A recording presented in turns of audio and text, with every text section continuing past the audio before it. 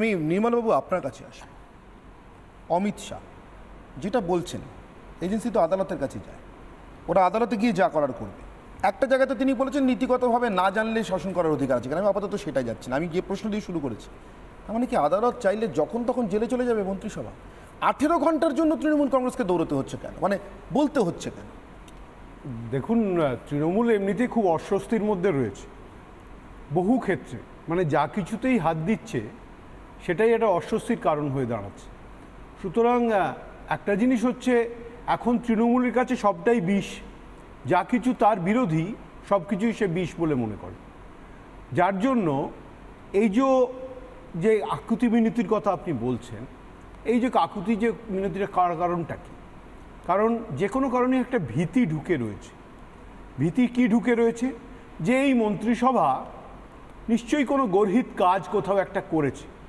এবং সব থেকে যেটা দুঃখের সেটা হচ্ছে মমতা বন্দ্যোপাধ্যায় নিজে মুখ্যমন্ত্রী হিসেবে এই অন্যায়গুলো স্বীকার করবেন না। তার দলের কেউ এই অন্যায়গুলো স্বীকার করবেন না। তা এগুলো কি করে স্বীকার করানো যেতে পারে? স্বীকার করানো যায় দুভাবে। প্রথম যেটা সেটা হচ্ছে পশ্চিমবঙ্গের মানুষ যদি তাকে ভোটে হারিয়ে দেন তাহলে উনি হয়তো পরে ওনার সম্মিত ফিরে আসবে বলবেন না আমাদের ভুল ছিল। আমরা যা বলেছি, মানুষ কোনোটাই বিশ্বাস করেন আর আর একটা হতে পারে, সেটা হচ্ছে আপনি যেটা বলছেন, আদালত, তদন্ত, এই সমস্ত বিষয়গুলো, যার মাধ্যমে তাদেরকে দোষী প্রমাণ করা যাবে।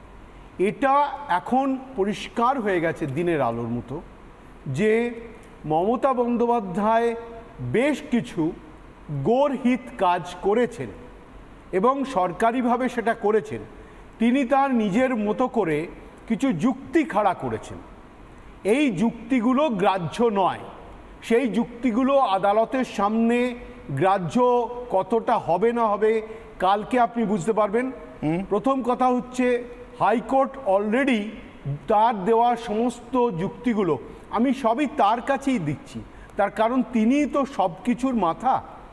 তাকে মানে এড়িয়ে কেউ কিছু করতে পারে না। যদি উনি এখন বলেন আমি এটা জানি না আমি ওটা জানি না এগুলো উনি বলেন।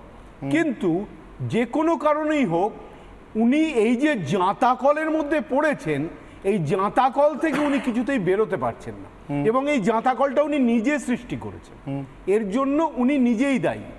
সাংবাদিক হিসেবে আমার মনে হয়েছে, উনি যতই ওনার এই জেদগুলো ফলাতে থাকবেন, ততই জাঁতাকলের কাঁটাগুলো তার গলায় চেপে বসবে এবং উনি মানুষ থেকে বিচ্ছিন্ন হতে থাকবেন।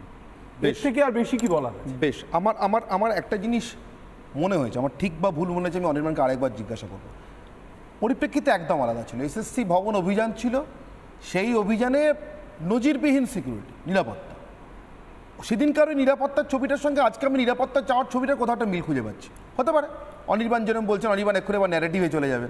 অনির্বাণ ন্যারেটিভ নিয়ে থাকতে ভালোবাসেন বাস্তবে না, না না হতে পারে হতে পারে। অনির্বাণকে আমি শুধু একবার সেদিনকে শুভেন্দু অধিকারীকে ওই সিকিউরিটি নিয়ে শুভেন্দু অধিকারীকে সিকিউরিটি নিয়ে প্রশ্ন করা হয়েছিল।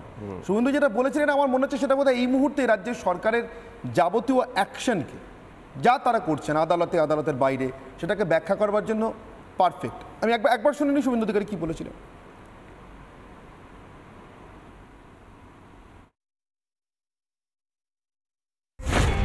নিরাপত্তা দেখলেন কেমন নিরাপত্তা দেখলেন? থরথর থরথর করে কাঁপছে। চোর মমতা। নিরাপত্তা দেখলেন কেমন নিরাপত্তা দেখলেন? থরথর থরথর করে কাঁপছে। চোর মমতা। অনেক কোথাও একটা মনে হচ্ছে আমার থরথর থরথর করে কাঁপছে। আঠেরো ঘণ্টা। মানে একটা। মন্ত্রিসভার জন্য। আচ্ছা আচ্ছা দেখতেই পেলাম কে অনির্বাণ আমাকে একটা ব্যাখ্যা দিন। আপনি তো আবার আপনি- আপনি আবার ইতিহাস ভূগোল পড়তে একটা না, না, স্টেট অ্যান্সার দিন। যাচ্ছি না, অনির্বাণ আমি অনেকে কিন্তু লিখছেন অনলাইনে যে তাই ব্যানার্জিকে প্রশ্ন করলে সোজা উত্তর দেয় না কেন? লিখছেন। যা- যা দেখালেন তাই বলছেন এটা সুস্থ মানুষের প্রতিক্রিয়া। দেখুন রাজনীতিতে হাজারো বিরোধ থাকে সব থাকে এরকম আচ্ছা এটা সুস্থ সরকারের প্রতিক্রিয়া। পঁচিশ হাজার ছেলে মেয়ে চাকরি চলে গেছে। হ্যাঁ। একটা সরকার মুকুল রথকে দিয়ে বলাচ্ছে সমানে প্রোটেকশনটা আছে তো প্রোটেকশনটা আছে তো। আরে আঠেরো ঘণ্টা বাকি ভাই। কালকে সকাল সাড়ে দশটার শুনানি। হ্যাঁ। তখনই তো ফয়সালা হয়ে যাবে। কি করেছে? ক্যাবিনেট কি করেছে যে আঠেরো ঘণ্টার জন্য প্রোটেকশন লাগে? ক্যাবিনেট যাই করে থাক একটু আগে যার কি করেছে একটু বলুন না। বলছি তো একটু আগে যার মনীষজন কি বলে এসেছিলেন? যে প্রিয়াঙ্কা বলছিল মনীষজন কি বলে এসেছিলেন? বুঝতে পেরেছি? মশলা ঢালতে হচ্ছে এখন জমানোর জন্য। আসলে গঙ্গারামের কাঁটা তো। একটু আগে যার প্রতিক্রিয়া দেখালেন এবং একটু আগে তরুণবাবু মন্ত্রিসভা চোর ইত্যাদি বলছিলেন এই ভদ্রলোককে কদিন আগে তরুণবাবুরা চোর বলতেন। আজকে ওনাদের সবচেয়ে বড় নেতা একজন হয়ে? বলেনি ভাই। রাজনৈতিক নৈতিকতা ইত্যাদির কথা আমি আবার ফিরে যাই যেটা অমিত শাহ মহাশয় বলছিলেন যে সরকার চালাবার নৈতিকতার প্রশ্নে দুর্নীতির দাগ থাকলে নাকি চালানো যায় না ইত্যাদি, তাহলে ইনি কি করে বিরোধী দলনেতা হলেন? কি করেই বা নানা জায়গায় বিজেপির সরাসরি বা জোট সঙ্গী হয়ে সরকারে যাকে বিজেপি চোর বলেছে, সেটা হিমন্ত বিশ্ব শর্মা হতে পারে, অজিত পাওয়ার হতে পারে, শুভেন্দু অধিকারী হতে পারে, তারা কি করে গিয়ে সরকারের অংশ বা মাথা হয়ে যাচ্ছেন একটা প্রশ্ন থেকেই যায়। সেই জায়গা থেকেই যে আঠেরো ঘণ্টার কথা বলছেন যেভাবে এজেন্সিগুলিকে অপব্যবহার করা হয়েছে তার বিরুদ্ধে যে কোনো রকম প্রোটেকশনের জন্য আদালতে যে কোনো দল বা সরকার উত্তর বা দেওয়া ব্যক্তি অনির্বাণ, এটা শুনে সত্যি হাসি ছাড়া কিছু পাচ্ছে সত্যি সত্যি হাসি ছাড়া কিছু পাচ্ছে স্বাভাবিক। হাসি এখন পাবেই, তরুণ- দেখুন তরুণ- না, তিরিশ অনির্বাণ- সেকেন্ডের please, না, তিরিশ একদম- সেকেন্ডের মধ্যে, আমি এখন অনির্বাণে বলা, বাকি অনির্বাণ বিলাতি অনেকগুলো কথা বলল এসএসসি তো ব্যাপারগুলো সামনেই আসতো না। ওই কোর্টে না মামলা হতো। এই রাজ্য সরকার দুর্নীতিগ্রস্ত তার প্রমাণ হচ্ছে supernumerary post. Supernumerary post কেন ক্রিয়েট করতে হলো অযোগ্যদের বাঁচানোর জন্য?